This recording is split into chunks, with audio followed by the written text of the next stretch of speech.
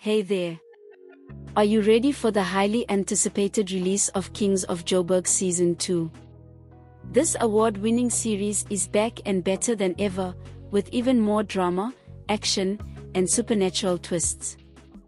Kings of Joburg follows the haunted Masire. family, who are tangled in a web of betrayal that threatens to destroy them.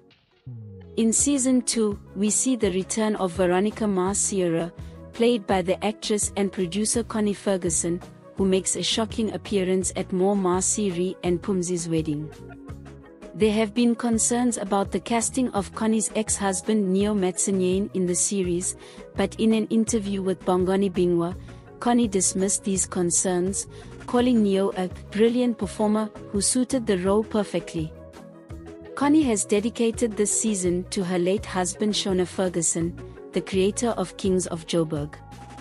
This new installment is a tribute to his legacy and promises to be an unmissable addition to the series.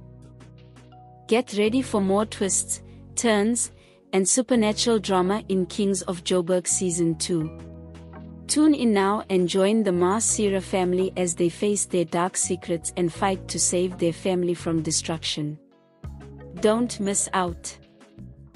Very much for watching. Please don't forget to like and share and subscribe. Share this video with your family and friends on Instagram, Facebook and Twitter.